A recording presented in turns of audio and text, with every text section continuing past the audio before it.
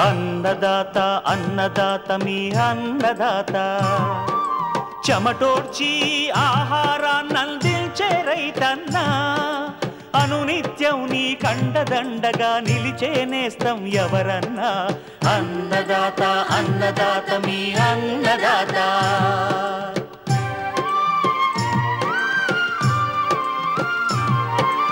నూతన రీతుల సాగుబడికి నూరింతలు పెరిగే దిగుబడికి సూచనలిచ్చే సస్య రక్షణకు పశు పోషణకి శాస్త్ర విజ్ఞానం అందించి ముందుకు నడిపే తెలుగు రైతు భారతదేశానికి మకుటం అయ్యేలా తీర్చిదిద్దే ఆశయంతో మిమ్ము మేలు కొలిపేది అన్నదాత. అన్నదాత అన్నదాత మీ అన్నదాత. అన్నదాత అన్నదాత మీ అన్నదాత. నమస్కారం. సరికొత్త రూపుతో మీ ముందున్న అన్నదాతకు స్వాగతం. ఈనాటి ముఖ్యాంశాలు. పంటలను నష్టపరుస్తున్న వేరుపురుగు సమగ్ర నివారణ. డ్రమ్ సీడర్తో వరి సాగు మెలకువలు ప్రయోజనాలు. పెన్నామి రొయ్యల్లో వైట్ కట్ వ్యాధి నివారణకు ముందు నుంచి చేపట్టాల్సిన చర్యలు.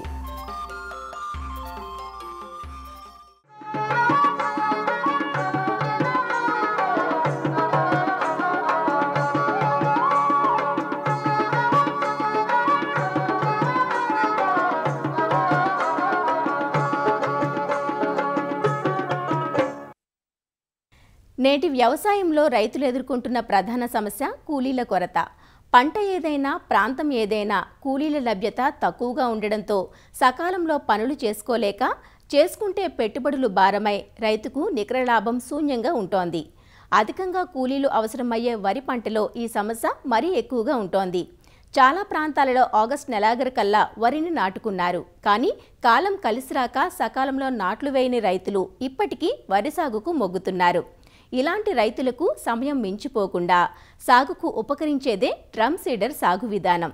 నేరుగా విత్తుకునే పద్ధతి ఇది. మరి డ్రమ్ సీడర్ విధానంలో వరి సాగు చేపట్టేటప్పుడు పాటించాల్సిన మెలకువలేమిటో ఆచార్య ఎన్జీ రంగా వ్యవసాయ విశ్వవిద్యాలయం శ్రీకాకుళం జిల్లా రాగోలు వ్యవసాయ పరిశోధనా స్థానం ప్రధాన శాస్త్రవేత్త డాక్టర్ పాలడుగు సత్యనారాయణ నుంచి ఈరోజు తెలుసుకుందాం. నీరు వసతి ఉన్నప్పుడు అంటే నీటి అశూడ్ వా వాటర్ అంటాం. అంటే మనకి వాటర్ పుష్కలంగా కావాల్సినంత వాటరు మనకు కావాల్సిన సమయంలో ఇవ్వగలిగినప్పుడు వెట్ డైరెక్ట్ సీడింగ్ అంటాం. అది చాలా అనుకూలంగా ఉంటుంది. డ్రమ్ సీడ్ ద్వారా మనం విత్తనాన్ని విత్తుకున్నప్పుడు చాలా ఉపయోగాలు ఉన్నాయని చెప్పుకోవచ్చు. పొలాన్ని బాగా సదును చేసి రెండు నుంచి మూడు సార్లు దమ్ము చేసి పొలాన్ని కూడా బాగా లెవెల్ చేసుకున్న తర్వాత ఈ డ్రమ్ సీడర్ను ఉపయోగించాలి. ముఖ్యంగా ఈ డ్రమ్ సీడరు ఉపయోగించినప్పుడు కొన్ని మెలుకులు పాటించాలి. ఈ డ్రమ్ సీడర్లో విత్తన మోతాదు. మనం ఎంపిక చేసుకున్నటువంటి రకాన్ని బట్టి విత్తన మోతాదు మారుతుంది. ఉదాహరణకు సన్న రకాలు మనం ఎంపిక చేసుకున్నట్టయితే పన్నెండు నుంచి పదమూడు కిలోలు మనకి డ్రమ్ సీడర్లు సరిపోతుంది. అలా కాకుండా కొంచెం మధ్యస్థ లావు నుంచి అలాగే పొడుగు గింజలు బరువున్న గింజలు మనం చూసుకున్నట్టయితే ఆ రకాలు ఎంపిక చేసుకున్నప్పుడు మనకి పదిహేను నుంచి పదహారు కిలోలు విత్తనాన్ని మనం ఈ డ్రమ్ సీడ్ ద్వారా ఉపయోగించుకోవాలి. ముఖ్యంగా డ్రమ్ సీడర్ ఉపయోగించినప్పుడు మనకు విత్తనాన్ని ఒక ఇరవై నాలుగు గంటలు నానబెట్టి సుమారుగా పన్నెండు నుంచి పదహారు గంటలు మండిగట్టి అంటే కొద్ది మేర విత్తనం మొలకొచ్చినటువంటి విత్తనాన్ని మనం డ్రమ్ సీడర్లో వేసుకోవటం వేసుకుంటాం వల్ల వెంటనే మొలకెత్తి పొలం కూడా బాగా తయారయ్యేటానికి ఆస్కారం ఉంటుంది. మనకి సుమారుగా ఒక రెండు గంటలు నుంచి మూడు గంటలు టైంలోనే ఒక ఎకరాన్ని మనం డ్రమ్ సీడ్ ద్వారా వేసుకోవచ్చు. ఈ విధంగా డ్రమ్ సీడ్ ద్వారా విత్తనాన్ని వేసుకున్నప్పుడు ఎప్పుడైతే వరుసల్లో విత్తనం పడుతుందో మొక్కకి మొక్కకి అంటే కుదిరికి కుదిరికి కూడా పది నుంచి ప- పన్నెండు సెంటీమీటర్ల దూరం ఉండటం వల్ల అలాగే వరుసల మధ్య మనకు సుమారుగా ఇరవై నుంచి ఇరవై ఐదు సెంటీమీటర్ల దూరం ఉండటం వల్ల మనకి సమానమైనటువంటి పాపులేషన్ ఉండటం వరుసకి వరుసకి ఎక్కువ దూరం ఉండటం వల్ల మక్- చక్కగా గాలి సోకి అటు చీడపీడల ఉధృతి స్థాయి కూడా తక్కువగా ఉండేందుకు ఆస్కారం ఉంది. అలాగే ఎప్పుడైతే డ్రమ్ సీడరు వాడామో మొత్తం పొలం కూడా ఆళీలు లేకుండా సమానంగా ఉండటం వల్ల ఉండటం వల్ల కూడా దిగుబడులు కూడా ఎక్కువగా పొందడానికి ఆస్కారం ఉంటుంది. అలాగే చాళ్ళకి చాళ్ళకి మధ్యలో ఎప్పుడైతే మనకి మో ఇరవై ఇరవై నుంచి ఇరవై సెంటీమీటర్లు గ్యాప్ ఉందో ఆ గ్యాపుల్లో మనకి ఈ మిషన్ ద్వారా కలుపు తీసుకోవటం కూడా అంటే కోనా వీడర్ కానీ లేదా ఇటీవల కాలంలో ఈ పవర్ ఆపరేటెడ్ వీడర్స్ వచ్చినాయి. వీటి ద్వారా కూడా ఆ వరుసల మధ్య మనం నడిచి కలుపు తీసుకోవటానికి కూడా ఆస్కారం ఉంటుంది. కాబట్టి ఈ విధంగా ఈ డ్రమ్ సీడర్ను ఉపయోగించడం వల్ల నాటు విధానానికంటే కూడా అలాగే విత్తనాన్ని చేత్తో వెజ్జల్లి సాగు చేసే విధానం కంటే కూడా మనకి ఈ డ్రమ్ సీడర్ ఉపయోగించడం వల్ల ముఖ్యంగా ఈ వెట్ డైరెక్ట్ సీడింగ్లో మనకు అధిక దిగుబడులు పొందటానికి ఎంతైనా ఆస్కారం ఉంది. దీనివల్ల ఏంటంటే లేబర్ సమస్య కూడా చాలా వరకు అధిగమించవచ్చు. ఈ డ్రమ్ సీడర్ ఉపయోగించినప్పుడు దాదాపుగా పది నుంచి పదిహేను మంది లేబరు మనకి ఎకరానికి కలిసి వస్తారు. అలాగే మనం సరైన సమయంలో సకాలంలో విత్తనాన్ని కూడా విత్తుకోవటానికి కూడా ఆస్కారం ఉంటుంది. ఈ డ్రమ్ సీడర్ ఉపయోగించినప్పుడు ప్రధానంగా మనకేంటంటే మామూలు నాటు విధానంలో నూట యాభై రోజులు కాలపరిమితి తీసుకుంటే ఈ డ్రమ్ సీడర్ ఉపయోగించినప్పుడు ఐదు నుంచి ఏడు రోజులు పొలం ముందుగా రావటం కూడా రైతుకి ఎంతైనా ఉపయోగం ఉంటుంది. ఒక ఎకరానికి ఈ డ్రమ్ సీడర్ ఉపయోగించినప్పుడు రెండు వేల నుంచి నాలుగు వేల రూపాయల దాకా రైతుకు ఆదాయ అయ్యే అవకాశం ఉంది. అటు విత్తన మోతాదులో తగ్గటం అవనండి లేదా లేబరు తగ్గటం వల్ల దాదాపుగా రెండు రెండు నుంచి నాలుగు వేల రూపాయలు రైతుకి ఆదాయ అయ్యేటువంటి ఆస్కారం ఈ డ్రమ్ సీడరు సాగు చేసినప్పుడు రైతుకు ఉంటుందని తెలియజేస్తున్నాను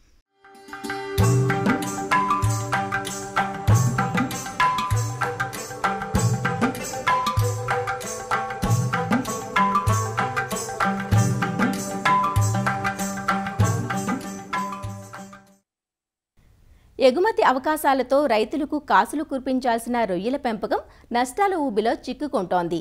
సాగు బాగుంటే ఎంతటి లాభాలను అందిస్తుందో సాగులో శాస్త్రీయత లోపిస్తే అంతగా తుడిచిపెట్టేస్తోంది. రొయ్యల్లో ప్రస్తుతం బ్యాక్టీరియల్ వైరల్ వ్యాధుల తీవ్రత అధికంగా ఉంటోంది. ముఖ్యంగా వెన్నామే చెరువుల్లో గత మూడు నాలుగేళ్ళుగా వైట్ కట్ సిండ్రోమ్ ఎక్కువగా కనిపిస్తోంది.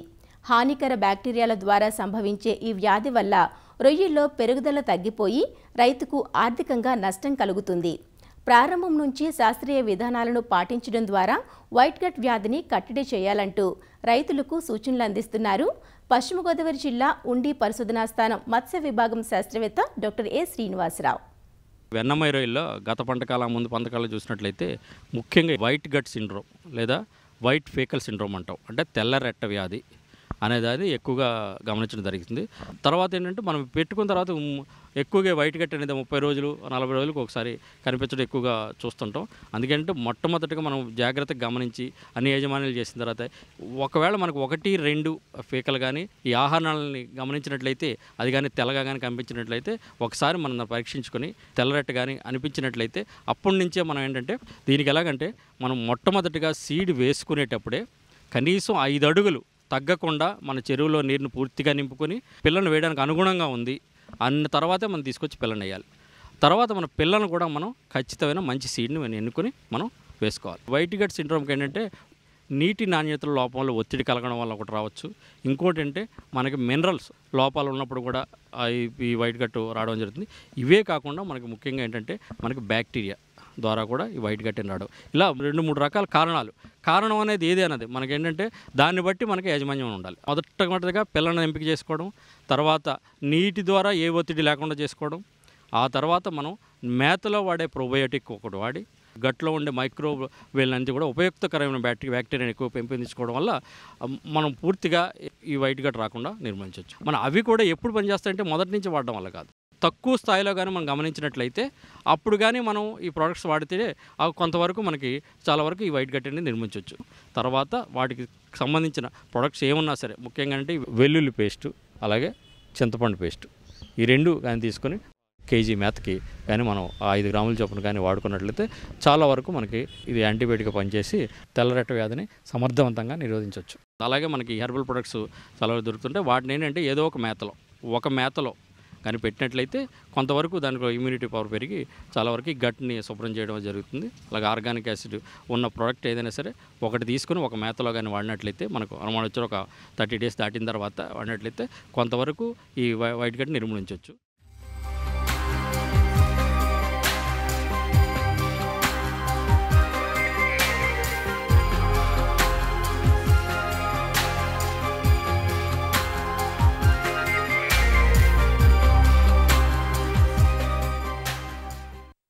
ఇటీవలి కాలంలో రైతుకు కంటి మీద కునుకు లేకుండా చేస్తున్న పురుగు వేరు పురుగు. ఒక పంటని కాదు ప్రత్తి మిరప కంది చెరకు అల్లం వేరుశనగ. ఇలా ఏ పంట వేసినా చాప క్రింద నీరులా వేరుపురుగు సమస్య కనిపిస్తోంది. ఒకసారి పొలంలో కనిపించిందంటే కొన్ని సంవత్సరాల పాటు పొలంలో తిష్ట వేసుకుని కూర్చుంటుంది. నేలలో దాగి ఉండే వేర్లను తినేయడంతో మొక్కలు అకస్మాత్తుగా చనిపోతాయి. మొక్కలు ఎందుకు చనిపోతున్నాయో రైతుకు అంతుపట్టదు. సాధారణంగా మాగని పశువుల ఎరువును తోలిన పరిస్థితుల్లో వేరుపురుగు నష్టం కనిపిస్తూ ఉంటుంది. ఇంతటి నష్టం కలిగించే ఈ పురుగు నివారణకు ఏదో ఒక పద్ధతి కాకుండా అన్ని రకాల సమగ్ర నివారణ పద్ధతులు పాటించాల్సి ఉంటుంది. పంటలను నష్టపరిచే వేరుపురుగు లక్షణాలు నివారణకు పాటించాల్సిన సమగ్ర యాజమాన్య పద్ధతులను తెలియజేస్తున్నారు ప్రొఫెసర్ జయశంకర్ తెలంగాణ రాష్ట్ర వ్యవసాయ విశ్వవిద్యాలయం నాగర్ కర్నూల్ పాలెం కృషి విజ్ఞాన కేంద్రం శాస్త్రవేత్త ఎం రాజశేఖర్. ప్రస్తుతం వానాకాలంలో సాగు చేసినటువంటి అన్ని పంటలు అంటే మనకు పత్తి కంది వేరుశనగ మరియు ఇతర అపరాల పంటలు అనేది సాగినాయి అయితే ఈ అపరాల పంటలను చాలా ప్రాంతంలో ఈ యొక్క వేరు పురుగు ఉధృతి అనేది గమనించడం జరిగింది. అయితే ఈ యొక్క పురుగులు మనకు పంట లేని సమయం లోపల భూమి లోపలనే ఉండి పంట ఏర్పడిన దశ లోపల మనకు పంటలను ఆశించి చాలా వరకు నష్టపరచడానికి ఆస్కారం ఉంటుంది. తొలి దశ లోపల అంటే తొలకరి వర్షాలకు బయటకు వచ్చినటువంటి ఈ పురుగులు జూన్ మాసం లోపల ఎటువంటి పంటలు ఉండవు కాబట్టి అవి మనకు వేప రేగు మరియు మునగ పంటలను ఆశించి అక్కడ వాటి యొక్క సంతానాన్ని అనేది వృద్ధి చెందుకుంటాయి.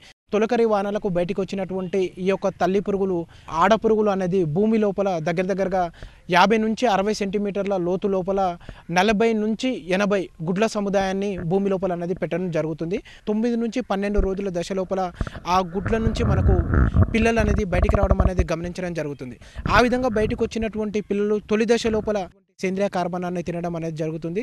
బాగా వృద్ధి చెందిన లార్వాలు అప్పుడే వేసుకున్నటువంటి పంటలైనటువంటి కంది మరియు వేరుశెనగ మరియు పత్తి పంటల లోపల ప్రధాన వేరు వ్యవస్థను ఆశించి ఆ యొక్క వేరు వ్యవస్థను అనేది కట్ చేయడం అనేది గమనించడం జరుగుతుంది. అంతేకాకుండా ఈ యొక్క వేరు పురుగు శీతాకాలంలో మొత్తం నేల లోపలనే ఉండి కోశస్థ దశ లోపలగా మారిపోయి అక్కడనే తన యొక్క జీవిత చక్రాన్ని అనేది కంప్లీట్ చేసుకుంటుంది. ఈ వేరు పురుగు ఆశించిన పంటల లోపల నష్టపరిచే విధానం చూసుకున్నట్లయితే ఏ పంటను ఆశిస్తే ఆ యొక్క పంట లోపల మొక్కలంతా వడలిపోయి గుంపులు గుంపులుగా చనిపోవడం అనేది గమనించడం జరుగుతుంది. మొక్కలను మనం పీకి చూస్తే సులభంగా మనకు ఊడి రావడం అనేది గమనించడం అనేది జరుగుతుంది. ముఖ్యంగా ఈ యొక్క వేరు పురుగు ఆశించినటువంటి అపరాల పంట లోపల ఇవి వేడి బుడపల లోపలికి చొచ్చుకొని పోయి ఆ బుడపల లోపల నత్రజని స్థిరీకరణను కూడా కానివ్వకుండా చేయడానికి ఆస్కారం ఉంటుంది. వేరుశనగ పంటల లోపల ఈ యొక్క వేరు పురుగు ఆశించినటువంటి మొక్కలను చూసుకున్నట్లయితే గుంపులు గుంపులుగా చనిపోవడం. అంతేకాకుండా మనము ఎండకు చూసుకున్నట్లయితే మొక్కలు అంతా కంప్లీట్గా ఎండిపోయినట్టు మనకు ఎండు తెగులు సోకితే ఏ విధంగా అయితే మనకు కనిపిస్తుందో ఆ విధంగా మనకు మొక్కలంతా కనిపించడానికి ఆస్కారం ఉంటుంది. అయితే ఈ యొక్క వేరు పురుగు రాకుండా ఎటువంటి యాజమాన్య పద్ధతులు చేపట్టాలన్న దాని గురించి చూసుకుందాం. ఎవరైతే రైతులు తొలి దశ లోపల మాగని పశువుల ఎరువుని వేసుకుంటే గిట్లా ఆ యొక్క పశువుల ఎరువు నుంచి మన పొలానికి రానికి ఆస్కారం ఉంటుంది. వేరు పురుగు యొక్క రెక్కల పురుగులు పశువుల పేడల్లోనే ఎక్కువగా గుడ్లను పెడతాయి కాబట్టి రైతులందరూ పశువుల ఎరువు తొలి దశ లోపల వేసుకున్నట్లు తప్పనిసరిగా బాగా చివికిన పశువుల ఎరువును మాత్రమే వేసుకోవాలి. అంతేకాకుండా మనం పంట వేసుకునేటప్పుడే లోతస్సు దుక్కులు అనేది చేసుకోవాలి. ఈ లోతస్సు దుక్కులు కూడా దాదాపుగా ఒక మీటర్ లోతులో దున్నుకోవాలి. ఆ లోతస్సు దుక్కులు చేసుకున్నప్పుడు ఎక్కడైతే మనకి యొక్క బీటిల్స్ యొక్క కోశస్థ దశలు కానీ వేరు పురుగు యొక్క లార్వాలు కానీ తెల్ల పురుగులు కనిపిస్తే గిట్లా వాటిని ఏరి నాశనం చేసుకోవాలి. అంతేకాకుండా మనం పంటలు వేసుకునేటప్పుడు తప్పనిసరిగా విత్తన శుద్ధి అనేది చేసుకోవాలి. క్లోరోఫైరిఫస్ అనే ద్రావణం ఎనిమిది ఎంఎల్ కేజీ విత్తనానికి పట్టించి ఒక అరగంట నీడ లోపల ఆరబెట్టుకొని విత్తుకున్నట్లయితే కూడా మనకు ఈ యొక్క వేరు పురుగును కొద్ది వరకు అదుపు చేసుకోనికి ఆస్కారం ఉంటుంది. అంతేకాకుండా ఎక్కడైతే మనకు మొక్కలు ఎండిపోయినట్టు మరియు ఎక్కడైతే మొదలు నుంచి కాండాలు కట్ చేసినట్టు కనిపిస్తావో ఆ యొక్క సమయంలో మాత్రం తప్పనిసరిగా మనము జీవ సంబంధితమైనటువంటి పురుగు మందు అయినటువంటి మెటరైజం అనైసోఫిలి అనేటటువంటి జీవ శిలీంద్ర నాశిని ఐదు గ్రాములు లీటర్ నీటికి కలిపి మనం వేర్ల దగ్గర పోసుకున్నట్లయితే కూడా కొద్ది వరకు ఈ యొక్క జీవ సంబంధితమైన శిలీంద్రం వాటి మీద పెరిగి మనకు వేరు పురుగును అదుపు చేసుకోనికి ఆస్కారం ఉంటుంది. తప్పనిసరిగా మనము గుళికలు అనేది చల్లుకోవాలి. గుళికలు చల్లే ముందు నీటి తడి అనేది పెట్టుకోవాలి. ఈ నీటి తడి పెట్టుకున్నప్పుడు భూమి లోపల ఉండేటటువంటి ఈ యొక్క వేరు పురుగు అనేది కొద్ది వరకు మనకు ముప్పై నుంచి ముప్పై ఐదు సెంటీమీటర్ల పై భాగానికి రానికి ఆస్కారం ఉంటుంది. కార్బోఫిరాన్ త్రీ జీ అనే గుళికలు ఎకరానికి ఆరు కిలోలు చల్లుకున్నట్లయితే భూమి లోపల ఉండేటటువంటి ఈ వేరు పురుగు బయటకు వచ్చి చనిపోనికి ఆస్కారం ఉంటుంది. లేదా బాగా వర్షం పడినప్పుడు కానీ గులుకలు వేసుకోవడం వలన మాత్రమే మనం ఈ యొక్క వేరు పురుగుని అదుపు చేసుకునే ఆస్కారం ఉంటుంది.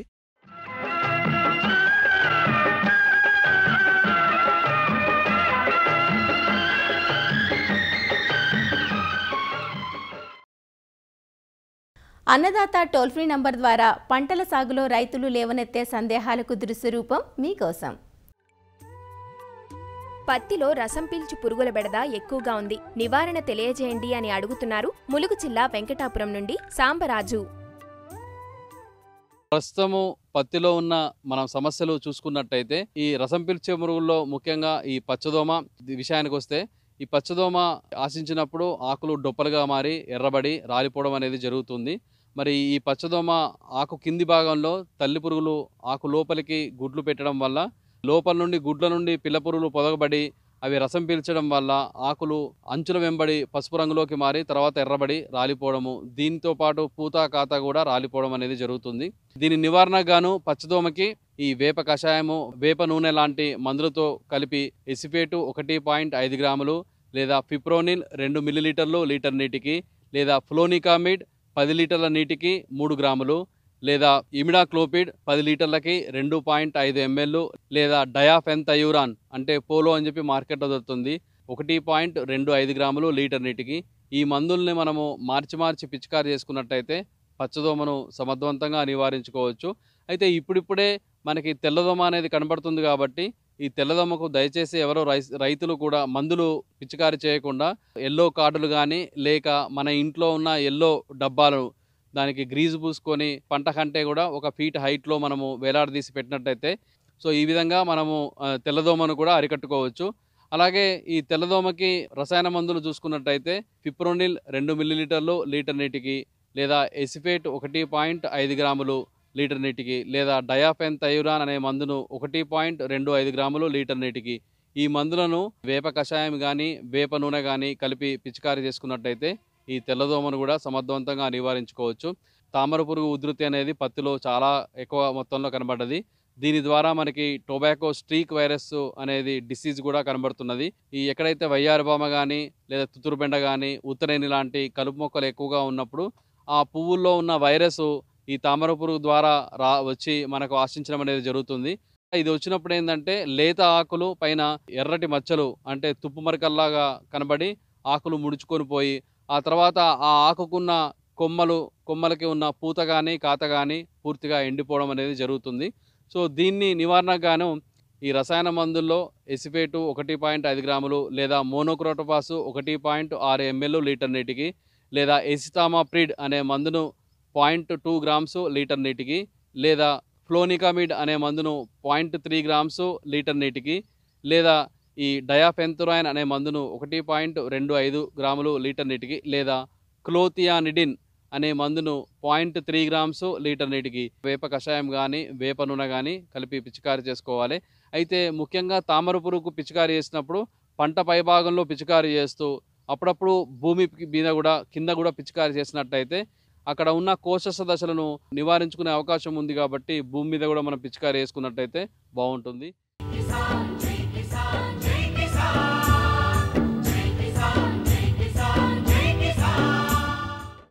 తెలుగు రాష్ట్రాలలో సాగురంగపు తీరుతెన్నులు విశేషాలను ఇప్పుడు జై కిసాన్లో చూద్దాం. వరంగల్ జిల్లా పర్వతగిరి మండల కేంద్రానికి చెందిన పిన్నింటి అనిల్ రావు జయంతి దంపతులు సమీకృత వ్యవసాయ విధానంలో రాణిస్తున్నారు.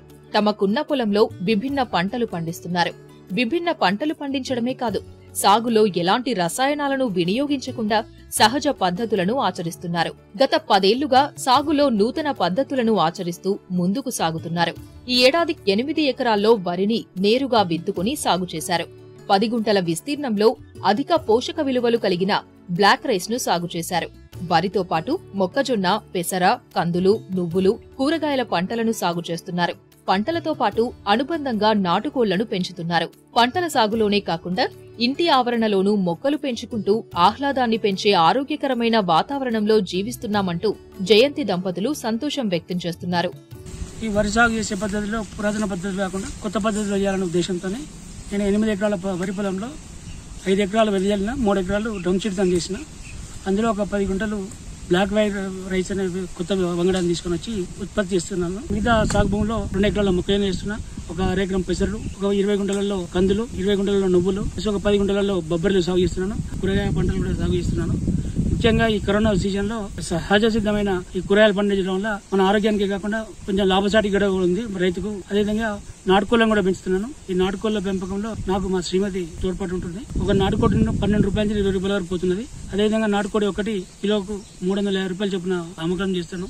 గత పది సంవత్సరాలుగా మేము ఇక్కడే ఉంటున్నాం. మాకున్న వ్యవసాయ భూమిలో వరి కానీ తోటలు కానీ మిగతా కంది పెసర మినుము నువ్వులు మొక్కజొన్నలు మా ఇంటి చుట్టూ పూల మొక్కలు కానీ పండ్ల మొక్కలు కానీ కూరగాయలు కానీ మా ఇంటి అవసరాల వరకు ప్లస్ నాటుకోళ్ళు కూడా పెంచుతున్నాం కమర్షియల్గా చుట్టుపక్కల రైతులు కూడా చాలామంది పిల్లలు తీసుకెళ్తారు కొనుక్కెళ్తారు కోళ్ళు కొనుక్కెళ్తారు.